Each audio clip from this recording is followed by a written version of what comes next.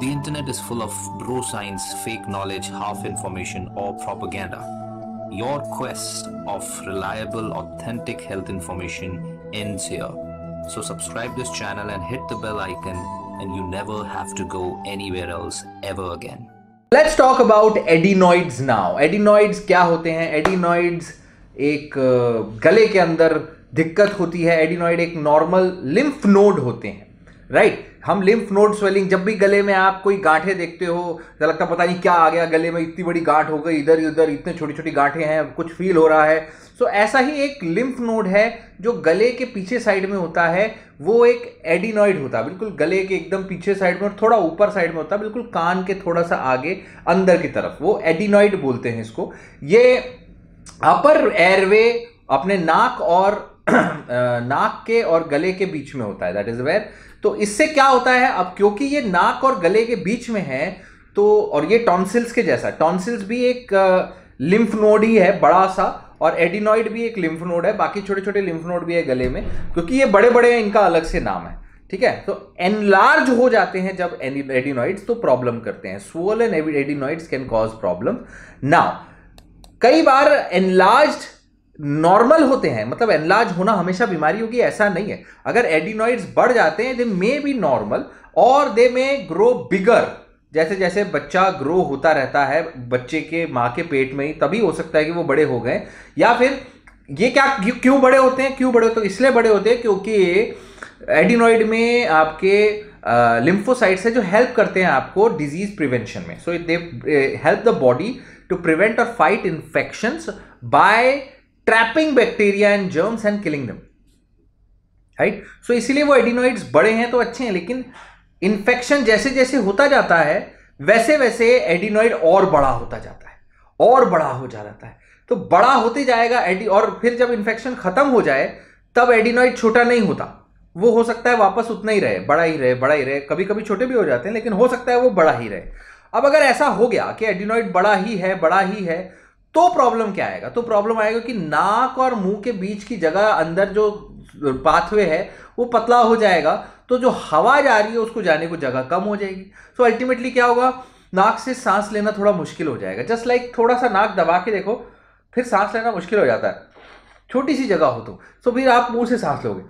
वैसे ही फिर एक एडिनॉइड वाला बच्चा या एडिनॉइड वाला पर्सन मुँह से सांस लेने लग जाता है माउथ ब्रीदिंग करने लग जाता है बिकॉज़ नाक का पीछे का हिस्सा बंद हो रहा है nose is getting block so mouth breathing ज़्यादा कॉमन होती है पहले इस केसेस में और सबसे ज़्यादा कॉमन होती है नाइट में. रात को होती है माउथ ब्रीदिंग एक एडिनॉइड वाले पेशेंट में और डे में भी हो सकती है ऑब्वियस सी चीज़ है.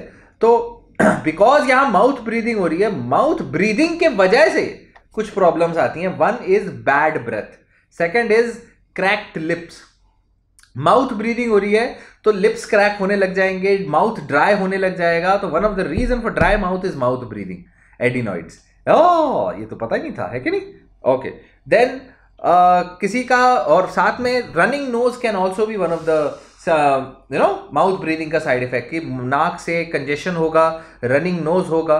सो माउथ ब्रीदिंग इटसेल्फ चाहे एडिनॉइड की वजह से हो, चाहे किसी भी वजह से हो it will cause crack clips dry mouth bad breath and running nose persistent अब एडिनॉइड्स की वजह से एनलार्ज एडिनॉइड्स की वजह से स्लीपिंग प्रॉब्लम भी आ सकता है। एक बच्चे को रोज सोते सोते या बड़ों को खर्राटे आ सकते हैं। खर्राटे बहुत जोरदार। ऐसे वाले। देखो, निकाल सकते हैं ना हाँ खर्राटे और, हो सकता है वो स्लीप रोज सोते हुए रेस्टलेस हो। सोते सोते उसका फिर बाद में फिर फिर बाद कच्ची नींद रेस्टलेस हो। Might be because of this issue और they might have episodes of not breathing during the sleep, which is called sleep apnea. तो sleep sleep apnea can also be because of enlarged adenoids. So, you need a ENT checkup. अगर आपको ऐसी कोई problem हो रही है, पीछे से देखा जाएगा शीशा डाल के या लैरिंगोस्कोपी करके कि भाई वहाँ एडिनॉइड है पोस्टियर आइडियल होता है इनडायरेक्ट लैरिंजोस इनडायरेक्ट लैरिंजोस्कोपी ठीक है? दैट इज़ दैट बच्चे खासकर जिनको एनलार्ज एडिनॉइड होती है ना can also have frequent ear infection क्योंकि ईयर का अंदर से ड्रेनेज होता है, वहाँ पे ब्लॉकेज हो सकता है। So multiple complication of enlarge adenoid मगर उसका एक एक फ़ायदा भी है कि इन्फेक्शन भी फाइट हो रहे हैं, है ना? अब अल्टीमेटली इसमें आपको चेकअप कराना होगा। अगर आपका मुँह से देखा जाए तो मुँह से एडिनॉइड्स को डायरेक्टली नहीं देखा जा सकता। सिर्फ़ मुँह में टॉर्च रख के या टंग नीचे डिप्रेस करके नहीं देखा जा सकता। इसके लिए एक मिरर यूज़ करना होगा, जो कि स्पेशल मिरर होता है या फिर एक आइडियल इनडायरेक्ट लैरिंजोस्कोपी मिरर से ऐसा शीशा देख के डाला जाता है, जो अंदर मिरर डाला जाता है, ऊपर का हिस्सा देखा जाता है। या फिर एक एंडोस्कोप डाल के देखा जाता है, नाक से ऐसे डाल के। एंड अंदर या नाक के अंदर डाल के देखा जाता है। तो ये दो तरीके से डायरेक्ट देखा जा सकता है। ये देखते हैं ई e के डॉक्टर, ईयर, नोज़, थ्रोट, कान, नाक, गला, घसा समझला। एंड टेस्ट जो होते हैं, वो होते हैं, लाइक एक्सरे किया जा सकता है, गले का, नेक का, जिससे एनलार्ज एडिनॉइड्स दिख सकते हैं। स्लीप स्टडी की जा सकती है। अगर हमें लग रहा है कि खराटे बहुत ज़्यादा आ रहे हैं, नींद में प्रॉब्लम बहुत ज़्यादा आ रही है प्रॉब्लम ज़्यादा हो रही है तो अल्टीमेटली देखो मोटा मोटा एडिनॉइड अच्छे भी हैं, लेकिन एडिनॉइड बड़े हो जाए तो ये सारी दिक्कतें हो सकती हैं। तो अल्टीमेटली अगर किसी को बड़े एडिनॉइड है और कोई सिम्टम नहीं है, या बहुत कम सिम्टम है तो कोई ट्रीटमेंट की आवश्यकता नहीं है ज़ीरो कई बार बच्चा जैसे जैसे बड़ा होता है एडिनॉइड अपने आप श्रिंक भी हो सकते हैं। So wait and watch if there are no symptom और माइल्ड सिम्टम कुछ केसेस में एंटीबायोटिक्स दिए जा सकते हैं ओरल नेजल स्टीरोइड्स के स्प्रे दिए जा सकते हैं, जिससे श्रिंकेज में हेल्प हो सकती है एडिनॉइड्स के। That is there ENT doctor देगा। अल्टीमेटली अगर लग रहा है कि सिम्टम्स ज़्यादा हैं सिवियर हैं परसिस्ट कर रहे हैं, बढ़ रहे हैं तो और मेडिसिन से कोई फ़ायदा नहीं हो रहा, तब एडिनॉइड्स को निकाला जा सकता है, एडिनॉइडेक्टॉमी, ऑपरेशन से काट के निकाला जा सकता है, सिंपल ऑपरेशन, एडिनॉइडेक्टॉम। सो ये ईएनटी e के स्पेशलिस्ट करते हैं।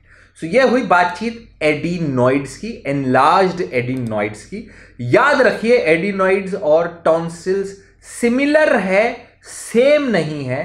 टॉन्सिल्स थोड़ा आगे होते हैं एडिनोइड्स थोड़ा पीछे होते हैं और ऊपर होते हैं और टॉन्सिल्स और एडिनोइड्स दोनों लिम्फ नोड्स हैं लिम्फ ग्लैंड्स हैं, जहाँ लिम्फ यानी कि लिम्फोसाइट्स होते हैं, यानी कि आपके रोग प्रतिरोधक शक्ति वाले सेल्स उसमें जमा होते हैं।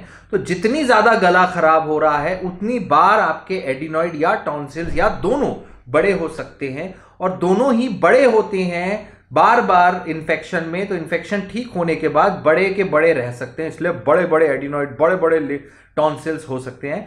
टॉन्सिल्स आपको गले में टंग डिप्रेसर डाल के आ बोलने से टंग बाहर निकाल के आ बोलने से दिखेंगे, ऐसे बड़े बड़े गोल गोल जो बिल्कुल ऐसा बीच की युविला के बगल में ऐसे लटक रहे लेकिन एडिनॉइड नहीं दिखेंगे। एडिनॉइड के लिए आइडियल डालना पड़ता है मिरर डाल के देखना होता है, या फिर एंडोस्कोप डाल के देखना होता है। और ट्रीटमेंट दोनों का है एंटीबायोटिक्स, रेस्ट, और अगर इन्फेक्शन बार बार हो रहे हैं, बड़े बार बार हो रहे हैं, दिक्कत बार बार हो रही, कॉम्प्लिकेशन केसेस हैं, सांस में दिक्कत हो रही है, खाना खाने में प्रॉब्लम हो रही है, ऐसी कोई भी चीज़ है तो फिर ऑपरेशन।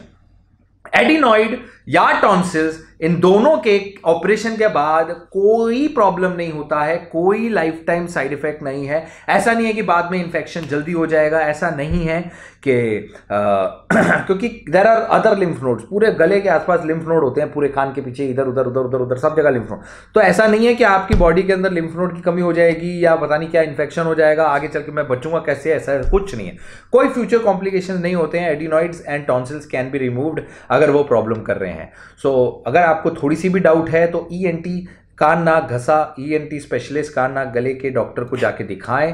वो अपने इस देख के आपको बताएँगे कि आपके या आपके बच्चे के केस में what is the best possible treatment for this kind of case एवं एंटीबायोटिक लेते मत जाइए, वरना क्या हो जाएगा?